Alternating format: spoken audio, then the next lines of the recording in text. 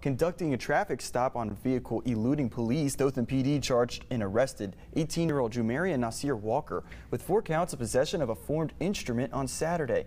And it was while performing that traffic stop, police say that Walker threw objects out of the window, which turned out to be four fraudulent checks that Walker allegedly tried to destroy. Those four charges carry a $40,000 bond.